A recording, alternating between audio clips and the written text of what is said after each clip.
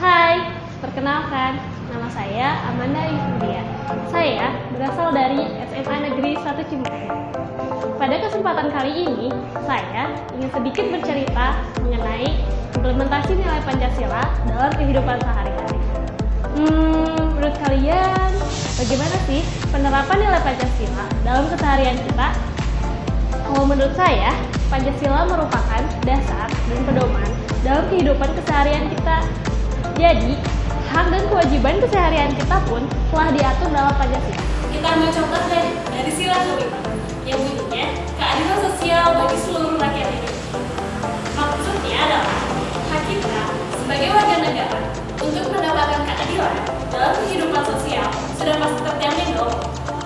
Hak kita sebagai pelajar yang ingin mendapatkan pendidikan yang layak pasti sudah terpenuhi kan? Saya pun yakin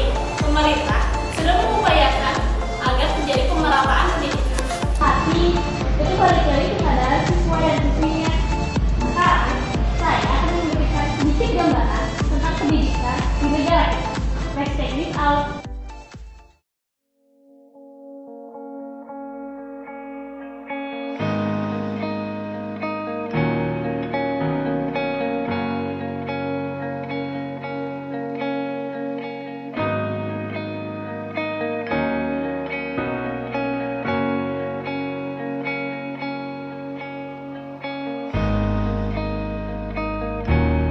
Pagi.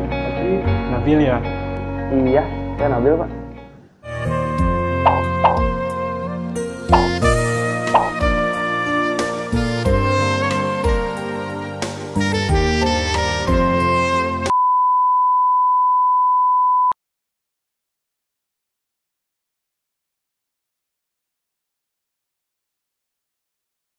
Jadi gini Nana Nabil, kami dari sekolah SMA Kedos Basari 5 ingin menawarkan suatu hadiah berupa beasiswa.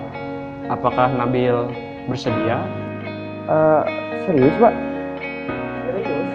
Eh, saya pingin sih pak, tapi kalau lihat dari keadaan keluarga saya, kayaknya bakal malu-maluin sekolah sih pak.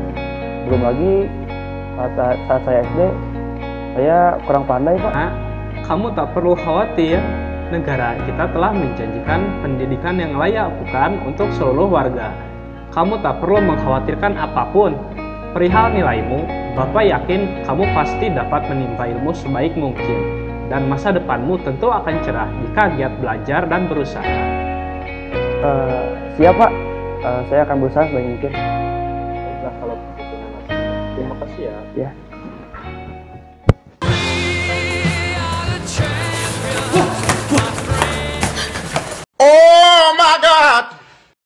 Really, nigga?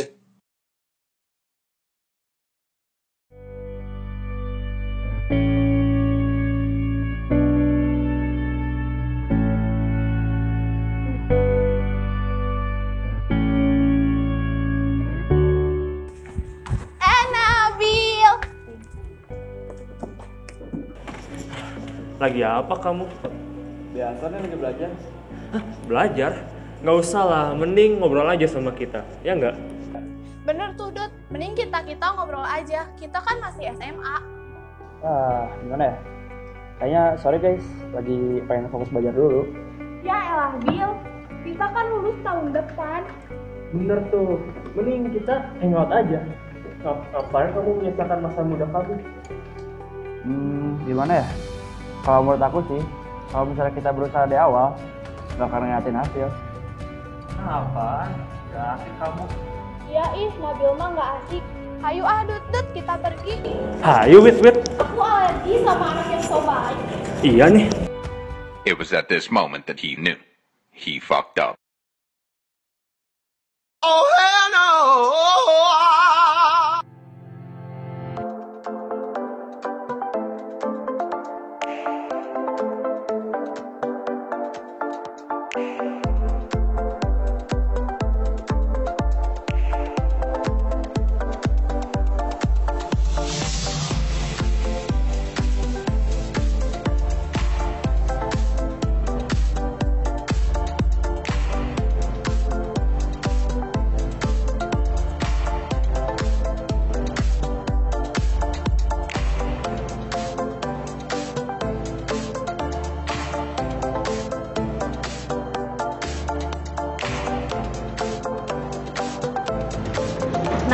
yang barusan merupakan salah satu contoh seorang siswa yang mendapatkan haknya dan menjalankan kewajibannya dengan benar. Selanjutnya, saya akan memberikan satu contoh lagi, tapi bukan untuk ditiru ya. Let's check this out.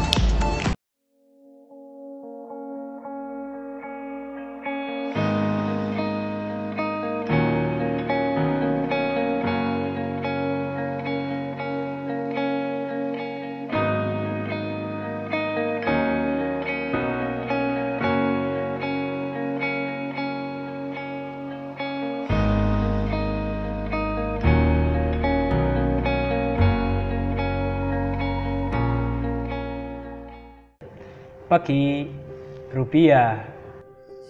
Ya. Hmm, lucu juga ya sikap kamu. Jadi gini Narubi, kami dari SMA Kedua Sebasari 5 ingin menawarkan beasiswa untuk bersekolah di sekolah ini. Bagaimana? Ya, gimana Bapak aja lah.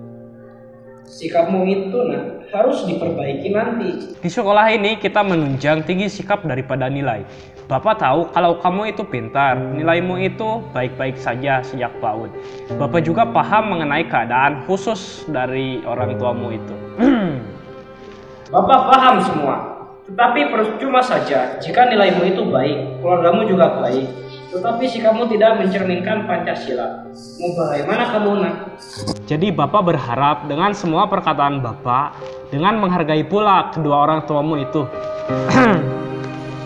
kamu akan belajar menjadi pribadi yang lebih baik lagi ya. Nak?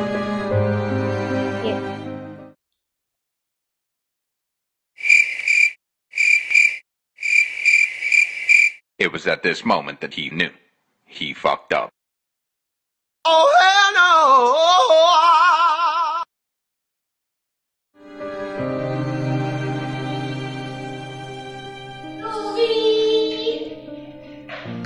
Kamu lagi apa?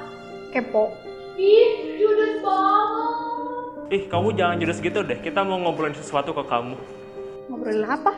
Jadi gini, kamu katanya kayak sedang sakit gitu. Jadi kita mau menawarkan kamu suatu obat. Sob, wait, coba liatin barangnya. Obat apa nih? Itu tuh obat yang bisa buat kamu senang. Obat yang bisa buat kamu melayah. Cobain deh. Eh, enggak ah, enggak yakin. Coba dulu deh, Ru.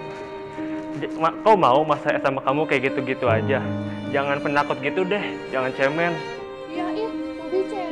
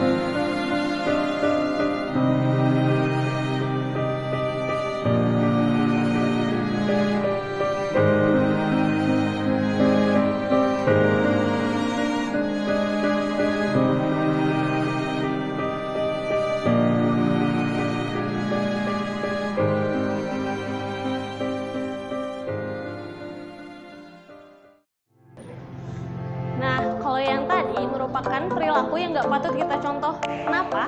Karena dia tidak menjalankan hak dan kewajibannya secara benar. Saran saya untuk kalian semua pelajar adalah pergunakan hak kalian untuk belajar.